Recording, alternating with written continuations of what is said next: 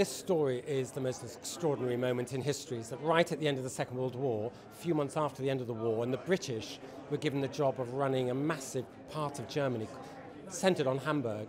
And a British officer invites his wife, Keira Knightley, over to join him. And she's extremely anti German because they lost their child in the bombing in the Blitz in London.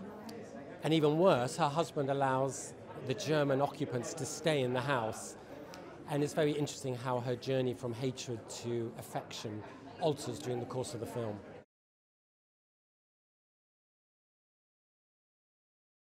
Well, it was an amazing cast. Obviously, Keira Knightley was the first one to come on board, so of course made things a lot easier to have her on board. Um, and then my dream wish was Alexander Skarsgård for Stefan Lubert, the German, because he is different for us, but he's also extremely handsome and somebody that you would perhaps be drawn towards, and then uh, Jason Clarke, who's a really terrific actor, to play, to play the husband in the film.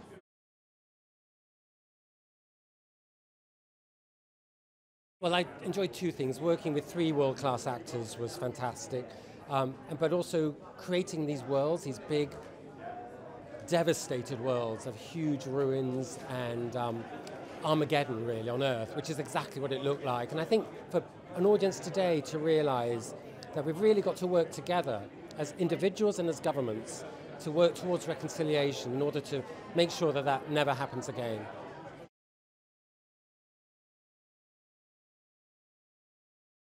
I think if you're going to tell a story about Armageddon and love in the time of Armageddon, you need a big screen. You need a big screen to see the scale of that destruction, and you need a big screen to feel the scale of the emotions that they're going through.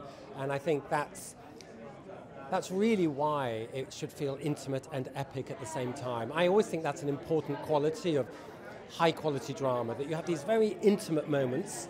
It might be just a small kiss or a finger running along the collarbone against these massive, massive landscapes of what looked like Syria, but far, far worse, which is exactly what it looked like.